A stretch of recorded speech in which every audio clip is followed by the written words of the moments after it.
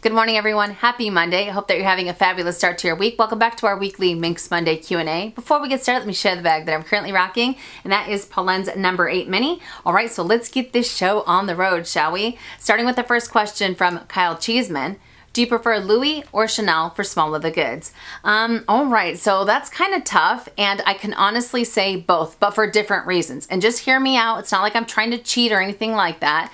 Uh, in terms of quality, I'd have to say Chanel. In terms of ride or die items, hands down, Louis Vuitton. When it comes to quality, in my opinion, Chanel takes the cake, at least in my experience. You guys might have experienced something different. Now, even though I haven't owned my Chanel small leather goods as long as I've owned some of my Louis Vuitton small leather goods, and the amount of time that I've had them and what I've put them through, I have yet to take any of them in for repair, either because of a pop stitch or because it's falling apart or anything like that. Whereas with Louis Vuitton, I've had to take them in for repair or have them replaced because of the quality issues that I was experiencing.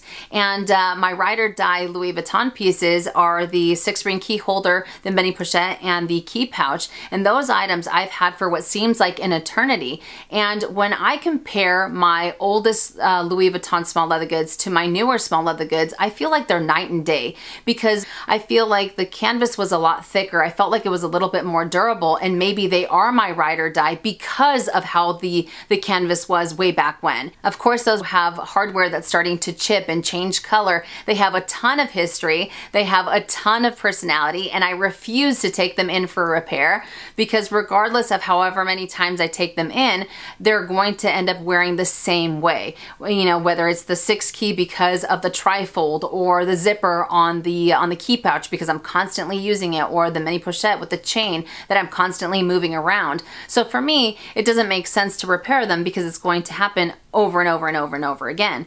But when I compare that to once more to the uh, to the newer uh, small leather goods that I've had within the last five years, I just felt like it was night and day. And I'll be honest with you, because of my past experience with Louis Vuitton small leather goods, I'm not as inclined to add any new pieces to my collection. I'm very very careful with what I decide to buy next, and uh, there are, have been many new collections that I'm I'm very intrigued on, but not enough to want to add anything else. And I prefer to go for a different different fashion house. And that's exactly what happened with Chanel. Now, don't get me wrong, I still I still give a side eye to the price points of Chanel, let's be honest, especially for their small leather goods, but I am very happy with uh, with what I've experienced when it comes to their to their quality because it's been extremely durable and no issues thus far, whether it's lambskin or caviar or anything like that. There have been times that I have seen some pieces uh, from Chanel at the boutique that shouldn't have passed quality control. I also wanted to throw that out there because uh, it's not like Chanel is always 100% on their game. Absolutely not not. Just in my experience with the items that I do have,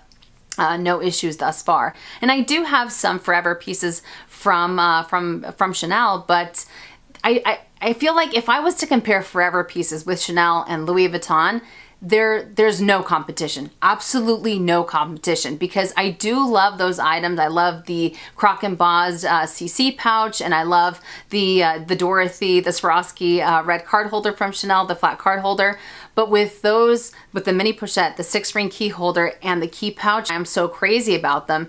But the fact that a lot of these items are 10 plus years and they're still holding strong. Even with a few beauty marks, I have to give them credit because their canvas, their, their goods, uh, 8 to 10 years ago, 15, I can't even imagine 20, 30 years ago, was absolutely amazing absolutely amazing. So I don't know if I was kind of all over the place with that question or not. It seems like it, but um, I, I, have mad love for both of them. I see them uh, in completely different lights. But what about you guys? When it comes to small leather goods from Louis Vuitton or Chanel, which one do you prefer and why? Let us know in the comment section down below. But fabulous, fabulous question. Next question from Yadira Trujillo. If there was a Louis Vuitton and Minks4All collaboration, what six pieces would you choose to add your design to? Okay, so if there was a collaboration between us, I would end up picking three small leather goods and three handbags, and I don't think anybody would be surprised by the items that I chose, but I did want to bring them out and talk about them just for a little bit to, to give you the reasons as to why I would pick them.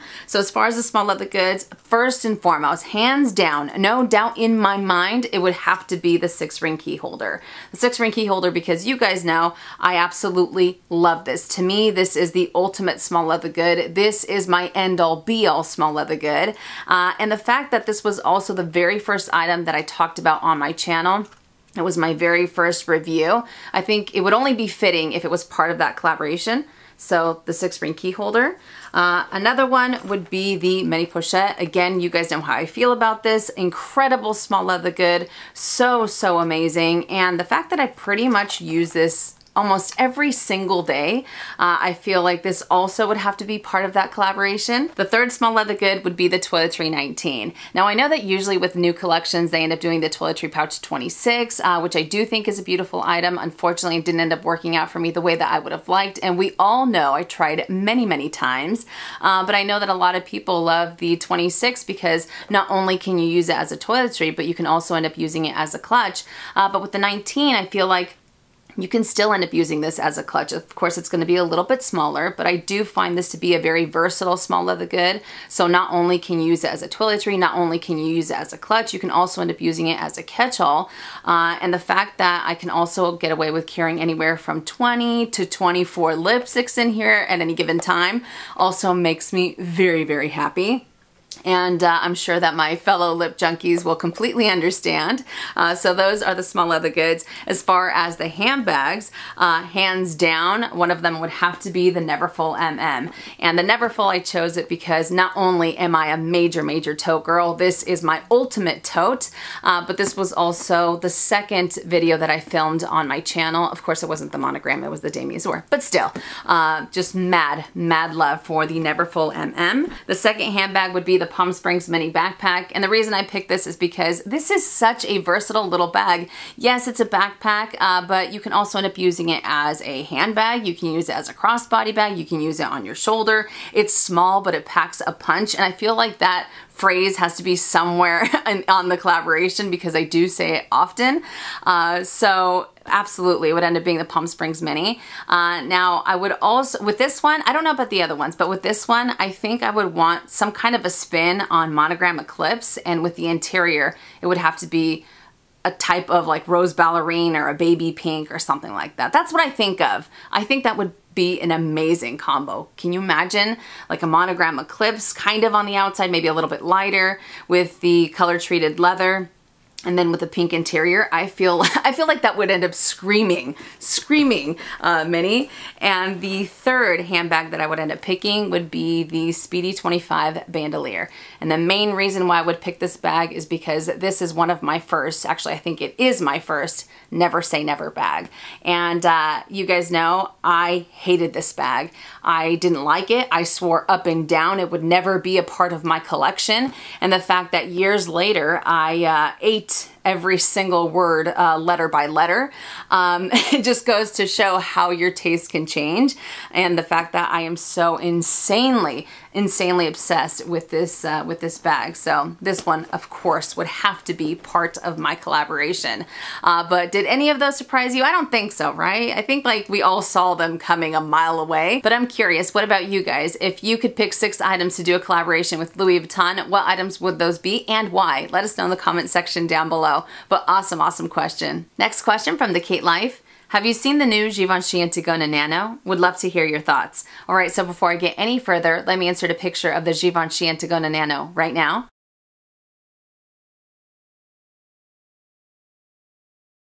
The Nano comes in at $990 here in the States and it's available in a variety of different colors and I absolutely love it. I think it is so unbelievably cute. There are so many things that I appreciate about this item. I love the fact that it comes with a removable adjustable strap and from the looks of it, the uh, it has maybe two to three adjustments but it looks like the strap is also quite generous. So it's not going to be too short and you have a little bit more play with it so I think that's awesome. If you decide to remove the strap, I like the fact that you can can end up using this either as a clutch or you can use it as a cosmetics case inside of your uh, your larger handbag so I think that's awesome as well. It does have one main compartment and one slip pocket and that slip pocket from what I saw on the website uh, is uh, like a credit card slot so you can end up putting your credit cards in there uh, and it doesn't have any exterior pockets or anything like that uh, but still I think that I don't think that it's too small and of course it's not going to be like this enormous bag but I think that it has a pretty good size and from what I saw the measurements uh, as far as the length I do believe it's right under eight inches, which again, I don't think it's too bad um, because I still feel like you can end up getting away with carrying your essentials in there if need be, or again, if you wanted to use it as um, as a catch-all or a clutch or a cosmetics uh, case or what have you.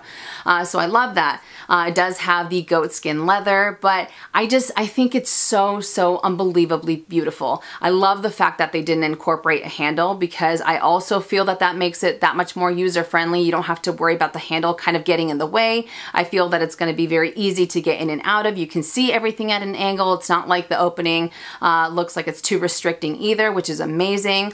Uh, but I, I, I love it. I absolutely love it. And from the looks of it, I could be wrong, but from the looks of it, ladies and gentlemen, it looks like there might be a chunky zipper. Oh yes, if it does have a chunky zipper, that is like the icing on the cake.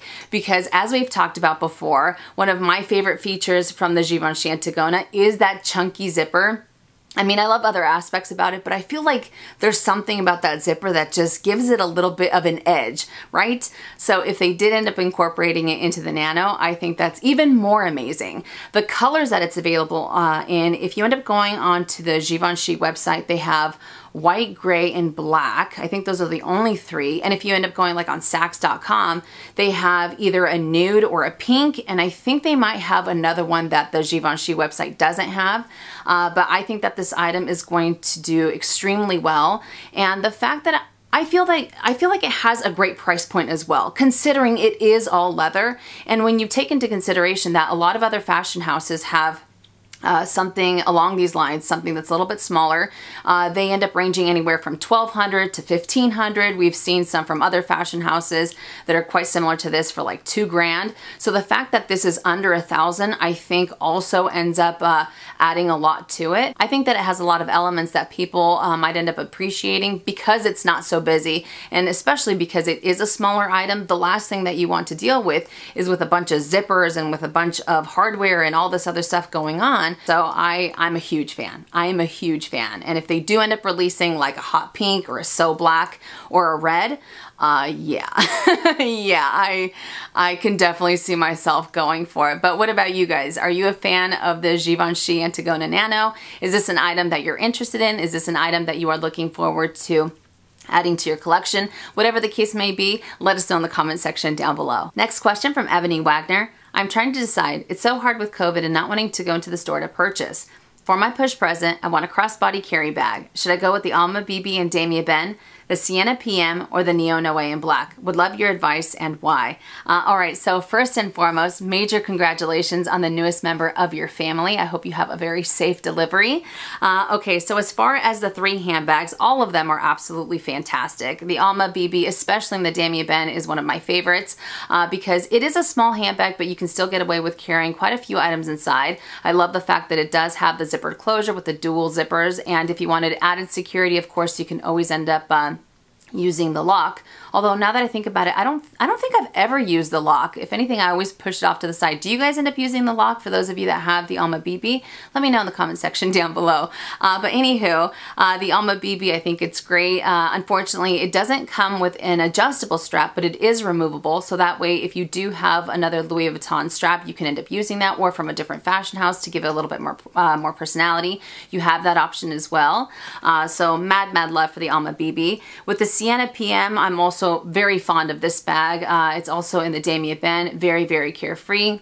It has a zippered closure, which gives you added security. And I really like the size of the PM because it's not too small and it's not too big. It's You can still get away with carrying a lot of items inside of this one as well. So I think that's wonderful. And I will also have to say that when it comes to the Siena PM, I don't feel that it ends up protruding off of your off of the body too much. I feel like, uh, I mean, it doesn't completely lay flat up against your body, but I don't think that it's, I don't think it's too cumbersome either from the looks of it. So uh, that's another thing that I appreciate about the Siena. Now, as far as the Neo Noe in black, um, I, I think that this is such an incredible bag. And out of all three of them, as I said before, I think that they're all wonderful. This is the one that I would end up picking. Because with the Neo Noe, uh, I love the fact that not only is it lightweight, it's very carefree. I love the fact that it has compartments. And uh, even though it doesn't have uh, as much security as the other two, the fact that it does have the drawstring closure uh, that's not fussy, that you can end up tightening up so that way uh, people can't see inside of your handbag, I think is wonderful as well. It does have the adjustable removable strap, which I think is an added bonus to it. And it also ends up keeping its shape. The other, the other two do as well, but I think that for a bigger bag and just the style and the silhouette that it has, I feel like it really ends up maintaining, maintaining its shape quite nicely. So out of the three, as I said previously, this is the one that I would end up uh, choosing just because I feel like it has that much more versatility. It has a lot more versatility than the other two, in my opinion. I don't think that you can go wrong with either. I think that they're all insanely beautiful bags. And uh, hopefully this is able to help you out. And for those of you that have any of these bags, let us know some pros and cons in the comment section down below, or which one uh, do you recommend? Let us know that as well. But again, major, major congratulations. And uh, whichever one you decide to go for, major congrats on your handbag as well. Next question from Craig Streetman. I have four Chanel Deauvilles and I have one in the all leather version. It's black large with silver hardware. Every time I reach for it, I think of you. Is this a bag that you've considered? I just think that it suits your style so much. Um, okay, so yes, I have definitely considered going for the all leather version when it comes to the Deauville, especially since I'm so fond of the silhouette. But in all honesty, I do end up preferring other materials besides the leather, kind of like the raffia. The raffia material, in my opinion, has been one of the best when it comes to, uh, to this handbag because it's still lightweight and it's very, very durable.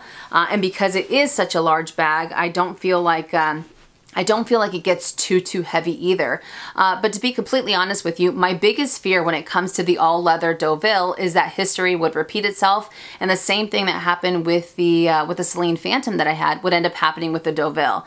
Because with the Phantom, it was this oversized uh, leather handbag and it would just get way too heavy once I started to put my items inside. So it was already heavy on its own. And then with everything else inside, I was just like, oh, there's no way. I wouldn't be able to carry it for extended periods of time.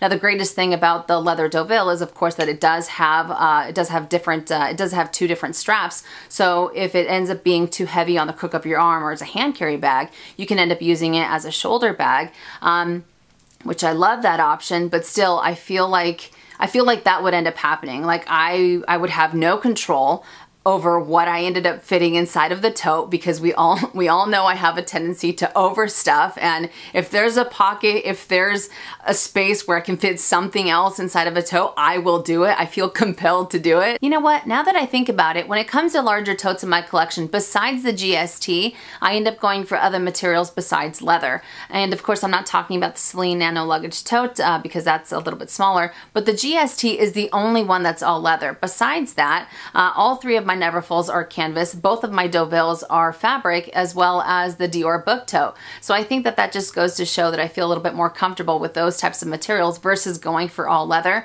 But the all leather Deauville, I think it is absolutely beautiful and they've had some amazing collections in the past and I appreciate their details. I appreciate the colors, uh, but I think that it's a version that I appreciate from afar. Uh, and I just, I just know in my heart of hearts that uh, it might be a little bit too heavy for my lifestyle considering my past past with uh, with some of the other bags that I've had in my collection, such as the, the Celine Phantom that I mentioned earlier. Um, but uh, until I can uh, pump the brakes and until I can figure out that I don't have to carry everything with, me when it comes to a tote, um, it's one that I'm going to, it's one that I'm going to have to pass on for sure. But they are beautiful nonetheless. But I'm curious, how do you guys feel about the Deauville? Do you prefer it in the fabric version? Do you prefer it in the leather version? Whatever the case may be, let us know in the comment section down below. And the last question from Ms. July 76, general question for all the luxury YouTubers that don't have daughters and don't have family members or friends that share their love for luxury. Who will inherit your handbags and luxury goods when you pass away? I know, weird question, lol, but I had the same conversation with my daughters, so I was wondering if you have instructed your hubby on what to do with your items. My daughters know that I will haunt the crap out of them if they don't take care of my bags even after I'm gone. I love it. I absolutely love it. And uh, you know what? I don't think it's a weird question at all. On the contrary, I feel like it's a conversation worth having. Why not? You're talking about the future, right? If I don't have the chance to have my own family, I do have family members that I can pass uh, my collection down to, whether it's my in-laws or my niece or my nephews. Um, and if they, if uh, my niece or my nephews are interested in luxury goods and uh, if, uh, if they want handbags or what have you, my, my closet is theirs. Absolutely. Absolutely my closet is theirs. And if my brother ends up having kids, they're more than welcome to my closet as well. Now, if they're not interested in luxury goods, I would end up leaving instructions to sell my entire collection and have the money go towards a charity that is near and dear to my heart. That's what I would end up doing. But to be completely honest with you, I don't think uh, I don't think that's going to happen. Uh, mostly because of my niece. My niece is like the cutest thing on the planet. She is so so girly. Um, she only wears pink and purple and glitter. Uh, so come on, come on, right? Uh, but she only wears pink, purple, and glitter. She always has her nails done. She wears like a lip gloss or a lip balm. She has those little purses. She's into Barbie right now, like majorly into Barbie. So I I, I know my collection would end up going uh, would end up going towards her. Um, but uh, it's so funny too because whenever we end up visiting, she she loves to look inside of my handbag, and I feel like we're kind of doing a what's in my bag. She's all Aunt Minnie, what's this? She has like this this cute little mousy voice. She's all Aunt Minnie, what's this for? What's this? It's so adorable. But uh, she'll go through like uh, my lipsticks and she's all, let me see the color, let me see the color, or just whatever. We have a blast. We could literally sit there for hours. But um, yeah, I'm, I'm pretty sure that's where my collection would end up going. Uh, or if, uh, again, if my nephews, if they're into luxury goods or what have you, go for it. Absolutely go for it. But I can already pick I can already picture it with my collection now type of thing. But uh, if that doesn't end up happening, then I do have a backup plan uh, set in place. But what about you guys? When it comes to your collection, who will be inheriting your collection? Will it be your kids? Will it be someone else? Whoever it might be, let us know in the comment section down below. But great, great question. All right, you guys, so that does it for Minks Monday Q&A. I hope that you enjoyed it and I hope I was able to help. You guys had some awesome questions this week. If you enjoyed it, make sure and give it a thumbs up and I will see you guys later. And as always, make it a fabulous day or not. How sad it completely cut off my ending. What I was trying to say is make it a fabulous day or not. The choice is yours. Have a great day.